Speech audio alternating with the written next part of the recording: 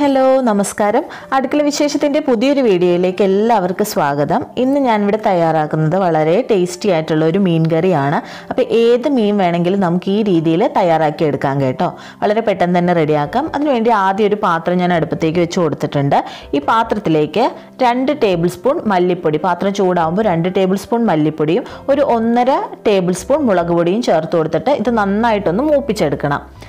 നമ്മൾ ആദ്യം ഈ ഒരു രണ്ട് പൊടികൾ മാത്രമാണ് മൂപ്പിച്ചെടുക്കുന്നുള്ളൂ ആ പൊടിയുടെ പച്ചമണം മാറുന്നവരെ വരെ നന്നായിട്ടൊന്ന് മൂപ്പിച്ചെടുക്കുക പിന്നെ എരിവൊക്കെ ഓരോരുത്തരുടെ ഇഷ്ടത്തിനനുസരിച്ച് മുളക് പൊടി കൂടുതലും കുറവൊക്കെ ഉപയോഗിക്കാം കേട്ടോ ഇനി നമുക്ക് ഇതിലേക്ക് വേണ്ടത് തേങ്ങയാണ് ഒരു കപ്പ് തേങ്ങയാണ് എടുത്തിരിക്കുന്നത് ഇരുന്നൂറ്റി അൻപത് എം എല്ലിൻ്റെ ഒരു കപ്പ് തേങ്ങ അതുപോലെ നമ്മൾ ഒരു കിലോ മീൻകറി വെക്കുന്നതിന് ആവശ്യമായിട്ടുള്ള സാധനങ്ങളാട്ടോ പറയുന്നത്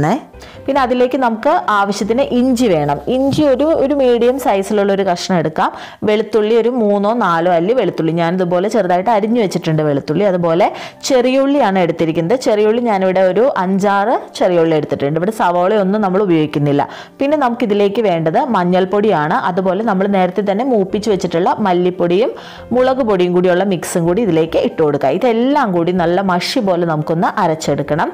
ഇനി കറിക്ക് കുറച്ചുകൂടി ടേസ്റ്റ് കിട്ടണമെങ്കിൽ ഈ അരയ്ക്കുന്നതിൻ്റെ കൂടെ നിങ്ങൾക്കൊരു അഞ്ച് കഷ്ണം അണ്ടിപ്പരിപ്പും കൂടി ഇട്ട് കൊടുക്കാം അപ്പോൾ കറിക്ക് നല്ല ഒരു അടിപൊളി ടേസ്റ്റ് കിട്ടും കേട്ടോ വെള്ളം കൂടി ചേർത്തിട്ട് നമുക്ക് നല്ല പേസ്റ്റ് ആയിട്ട് ഇത് അരച്ചെടുക്കാം ഞാനിവിടെ കശുവണ്ടി ഒന്നും ചേർത്തിട്ടില്ല നിങ്ങൾക്ക് വേണമെങ്കിൽ ചേർക്കാം അപ്പോൾ ഇതുപോലെ നന്നായിട്ട് ഇവിടെ അരച്ചെടുത്തിട്ടുണ്ട് ഇനി നമ്മൾ നമ്മൾ ഏത് മീൻ വേണമെങ്കിലും ഇത് എടുക്കാം ഞാനിവിടെ ഒരു ഒരു കിലോ മീനാണ് എടുത്തിരിക്കുന്നത് സാൽമണാണ് എടുത്തിരിക്കുന്നത് അപ്പോൾ നിങ്ങൾക്ക് ഏത് മീൻ വേണമെങ്കിലും എടുക്കാം കേട്ടോ ഇപ്പോൾ അയിലൊക്കെ ആണെങ്കിൽ ഈ ഒരു മിക്സിന് നല്ല ടേസ്റ്റ് ആയിരിക്കും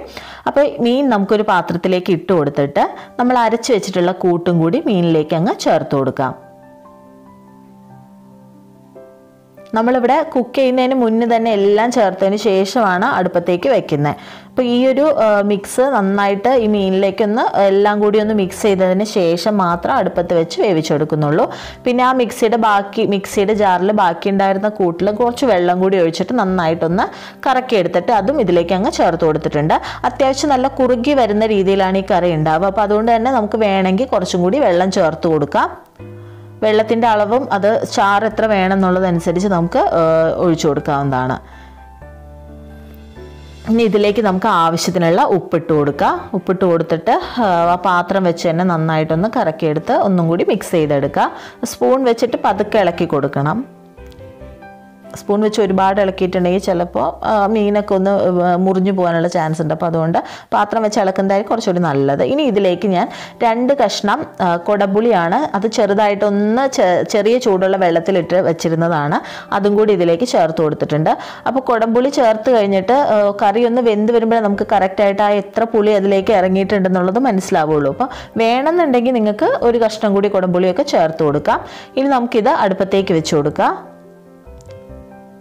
ഏകദേശം നമ്മൾ വയ്ക്കുന്ന സമയത്ത് നല്ല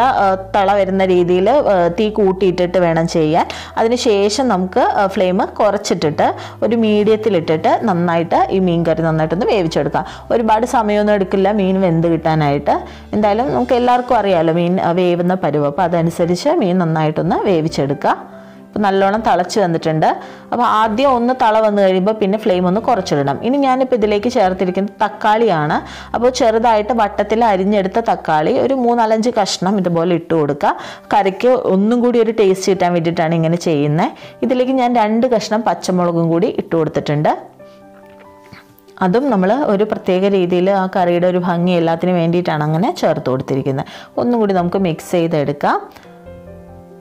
ഇപ്പോൾ കറി അത്യാവശ്യം വെന്തിട്ടുണ്ടോയെന്നൊക്കെ നോക്കാവുന്ന സമയമാണ് വെന്തിട്ടുണ്ടോ എന്ന് നോക്കുക പിന്നെ ഞാൻ പറയാൻ വിട്ടുപോയത് കറിവേപ്പിലയാണ് കറിവേപ്പില നിങ്ങൾക്ക് ആവശ്യത്തിനനുസരിച്ച് കറിയിൽ ആദ്യമേ തന്നെ ഇട്ട് കൊടുക്കുക അല്ലെങ്കിൽ കറി വെന്തതിന് ശേഷം വേണമെങ്കിലും ഇട്ട് കൊടുക്കാം കേട്ടോ ഇനി അടുത്തതായിട്ട് നമ്മൾ ചെയ്യുന്നത് ഒരു ടേബിൾ സ്പൂൺ ബട്ടർ ചെറുതായിട്ടൊന്ന് ചൂടാക്കിയെടുക്കുക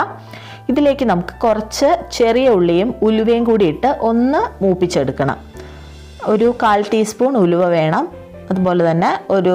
രണ്ട് ടേബിൾ സ്പൂൺ ചെറിയ ഉള്ളി ചെറിയ ഉള്ളിയുടെ അളവും ഇതുപോലെ നല്ല ടേസ്റ്റ് ആയിരിക്കും ഇതുപോലെ ഒന്ന് മൂപ്പിച്ച് കറിയിലേക്ക് ഇട്ടിട്ടുണ്ടെങ്കിൽ കുറച്ച് കൂടുതലിട്ടെന്ന് വെച്ചിട്ടൊന്നും കുഴപ്പമൊന്നുമില്ല ഇതുപോലെ ചെറിയുള്ളി ഇട്ട് കൊടുക്കുക എന്നിട്ട് നന്നായിട്ടൊന്ന് ഒന്ന് ബ്രൗൺ കളർ ആവുന്നവരെ ഒന്ന് മൂപ്പിച്ചെടുക്കുക നമ്മളിവിടെ ഒരു തരത്തിലുള്ള വെളിച്ചെണ്ണയോ വേറെ എണ്ണയോ ഒന്നും ചേർത്തിട്ടില്ല ആകെ എടുത്തിരിക്കുന്നത് ഒരു ടേബിൾ സ്പൂൺ ബട്ടറാണ് ഇപ്പം നിങ്ങൾക്ക് ഇത് വേണ്ടാന്നുണ്ടെങ്കിൽ ഇതിൽ എണ്ണയൊന്നും ഇല്ലാതെ തന്നെ ഉണ്ടാക്കിയാൽ ഈ കറി നല്ല സൂപ്പർ ടേസ്റ്റ് ആട്ടോ ഇനി നമുക്കിത് കറിയിലേക്ക് ഇട്ട് കൊടുക്കാം കറി ഇവിടെ നല്ല പാകത്തിന് തിളച്ച് റെഡിയായി വന്നിട്ടുണ്ട് ആ കറിയിലേക്ക് നമുക്ക് ഈ ബട്ടറും അതുപോലെ ചെറിയ ഉള്ളിയും ഉലുവയും കൂടിയുള്ള മിക്സും കൂടി ചേർത്ത് കൊടുക്കുക കൂടുതൽ വേണമെങ്കിൽ കുറച്ച് കറിവേപ്പിലയും കൂടി ഇട്ട് കൊടുക്കാം കൂടുതലായിട്ട് വേണമെന്നുണ്ടെങ്കിൽ ഇനി അതിന് ശേഷം ഒന്നും കൂടി മിക്സ് ചെയ്യുക പാത്രം വെച്ചിട്ട് തന്നെ മിക്സ് ചെയ്യുന്നതായിരിക്കും കുറച്ചുകൂടി നല്ലത് മീൻകറി ഓരോരുത്തരും ഓരോ രീതിയിലാണ് ഉണ്ടാക്കുന്നത് ചിലർ മുളകിട്ട് വയ്ക്കും തേങ്ങ അരച്ച് തേങ്ങാപ്പാൽ പിഴിഞ്ഞ് അങ്ങനെ പല രീതിയിൽ വയ്ക്കും പല സ്ഥലങ്ങളിലും പല രീതിയിലാണ് വയ്ക്കുന്നത് അപ്പോൾ ഇതുപോലെ ഞാൻ ചെയ്ത് നോക്കിയപ്പോൾ എനിക്ക് വേറൊരു വ്യത്യസ്തമായിട്ടുള്ള ഒരു ടേസ്റ്റായിട്ട് തോന്നി അതുകൊണ്ടാണ് ഞാൻ ഈ ഒരു റെസിപ്പി ഷെയർ ചെയ്യുന്നത് നിങ്ങൾക്ക് ഇഷ്ടപ്പെടുന്ന കരുതുന്നു അപ്പോൾ എപ്പോഴെങ്കിലും സമയം കിട്ടുമ്പോൾ ഈ രീതിയിലൊന്ന് വെച്ച് നോക്കുക പെട്ടെന്ന് തന്നെ ഉണ്ടാക്കിയെടുക്കാനും പറ്റും നല്ല ടേസ്റ്റുമാണ് ഹെൽത്തിയുമാണ് അപ്പോൾ നമുക്ക് വേറൊരു വീഡിയോ ആയിട്ട് വീണ്ടും കാണാം